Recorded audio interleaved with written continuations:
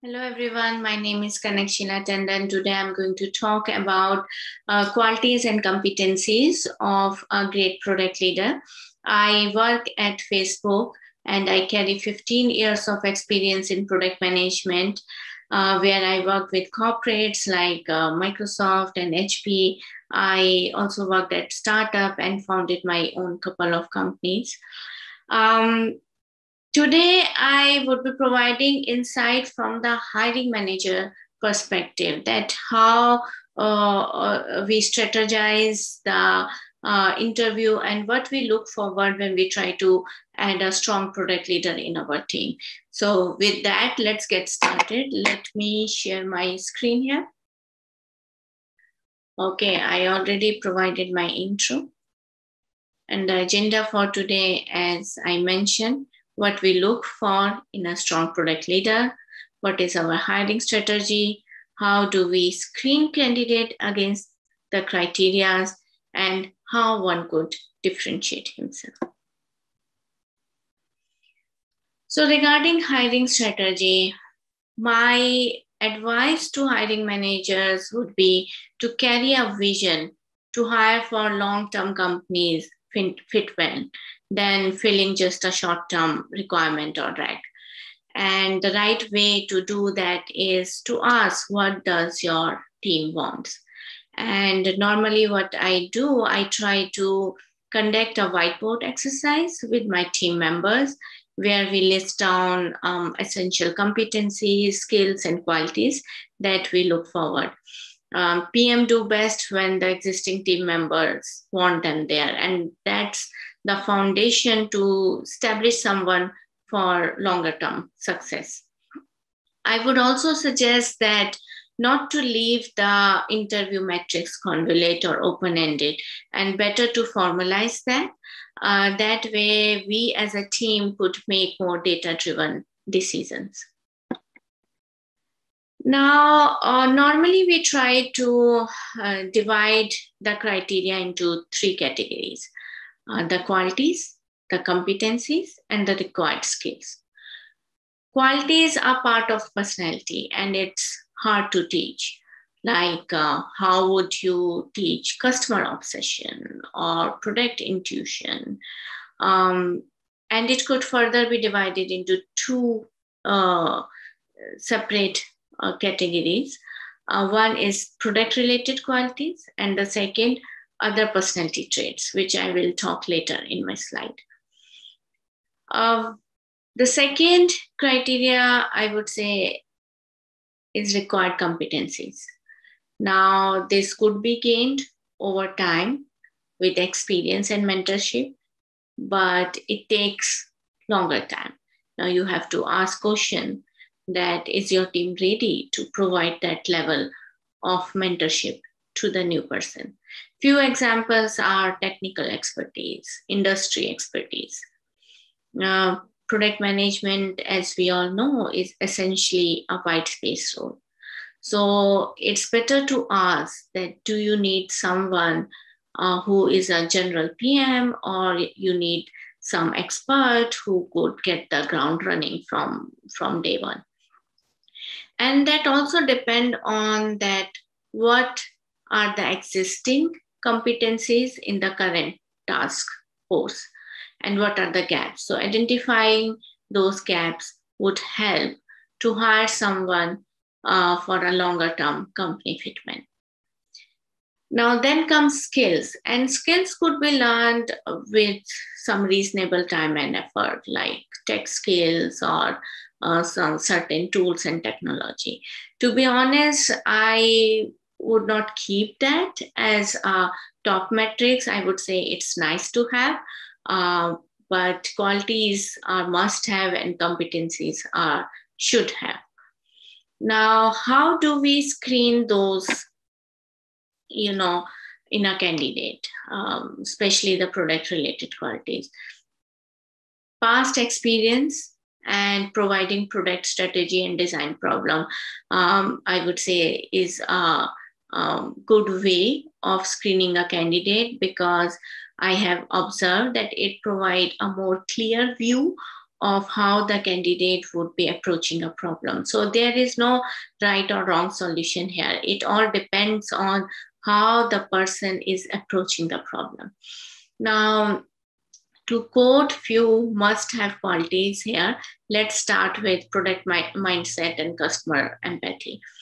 Um, every product um, exists because of certain problem we are trying to solve for, for the customer. So it's very essential to identify the right problem.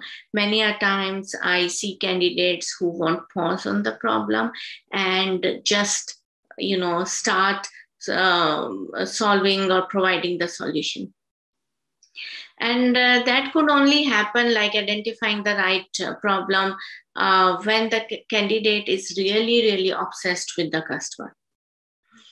Uh, other kind of pattern which I observe um, normally is when the candidate just select the first uh, or first thought that comes in his mind and start solutioning it, which I call a tunnel approach.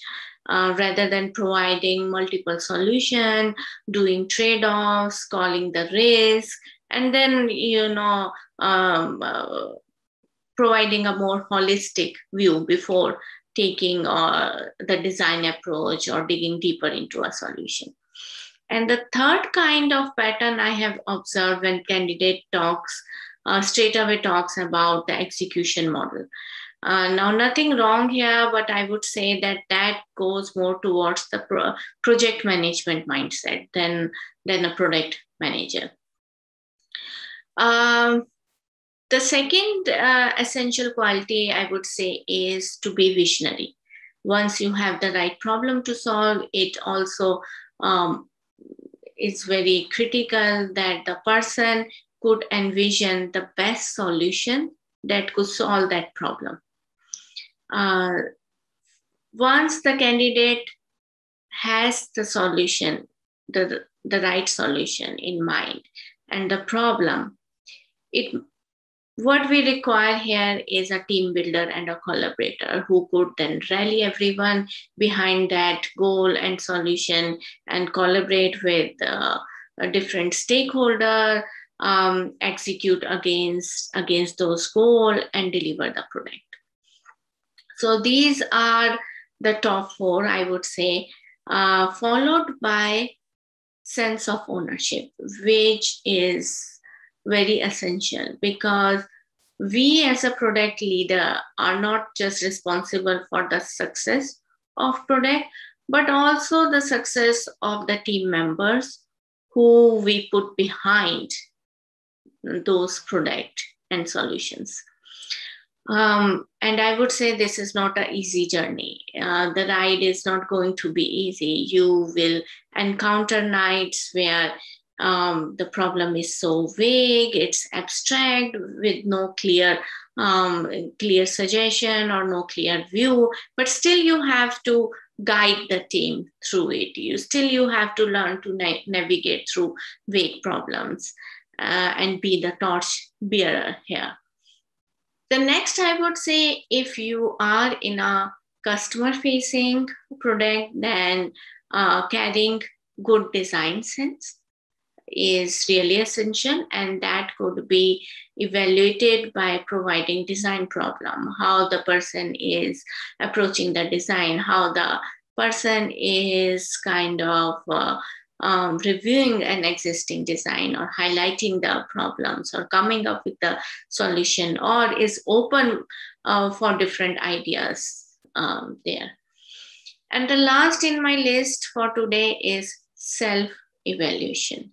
Now, I have observed very talented and strong product managers uh, struggling through, um, you know, uh, killing or divorcing their initial proposal. And that's that's very essential for for a product manager to not to get so closely attached to it. Uh, um, and uh, carry the nerve to kill their own own proposals at the right time. Um, that i have also observed when uh, you know there's there's a fine line there and at times the product manager could could uh, could go and bleed through standing for his or her own his or her ego. And that may backfire. So i would advise to have a very critical eye on yourself uh, to be successful longer term in this role to self evaluate yourself um, at times uh, when you are really attached to a particular product, problem, or solution. Now let's talk about other personality traits. Um, there are people who are more relationship oriented. There are people who are more result and outcome oriented. Um, I would say avoiding the extreme end and carrying some balance is always better. But still, you see people leaning toward one of these uh, these quadrants. Um, uh, what I normally do, I try to see what kind of personalities are already there in the team and what are the gaps and try to add people accordingly so that they can create a balance. We need people who could glue everyone together. We also need people who could uh, execute and, you know, are aggressive in terms of bringing the result in case of tougher problem and strict delivery lines. Now let's talk about competencies and skill. Um, they are based on past job related questions and uh, exercises. Uh, sometimes we give exercises to see uh, where the person stand in terms of the you know the uh, the ask competency or skill, and sometimes we just ask what he or she uh, did in past. Now, competencies at times may take precedence depending on how uh, how the industry is shifting. And skills, again, I would say I would bucket it in a nice to have category. Then a must have qualities, I would say um, I, uh, the must have um, criteria followed by competencies, which I could say should have criteria, and then skills. Now, let's talk about how one could differentiate himself or herself. Come up with clear, crisp, real past examples that helps a lot and that give us a, idea about how you would be working with your team, how would be you would be approaching the problem, where you need some mentorship. So uh, come up with real past examples. Now, there is no right or wrong solution here. Again, the approach matters more. Uh, it's also essential to own it fully, own your mistake. Don't be hesitant to share uh, where you you stumble and where you face challenges and what you learn. It it it may be yes, you know there there are products which uh, failed in past or uh, there are scenarios where you felt you could have done differently which is all fine to share. Now whether a candidate is open to new ideas or not also matters. So you could always show your openness and try to think on those lines if the interviewer is suggesting you some other approach. And again qualities matter more here so with that, I'm going to wrap up. Uh, we covered qualities of a strong PM, overview of hiring strategies, competencies and skills, and how one could uh, differentiate himself and how one should keep a critical eye on certain um, qualities uh, in, in this role.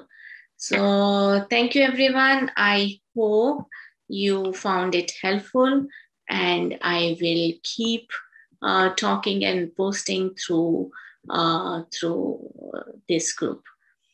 Thank you, Product School.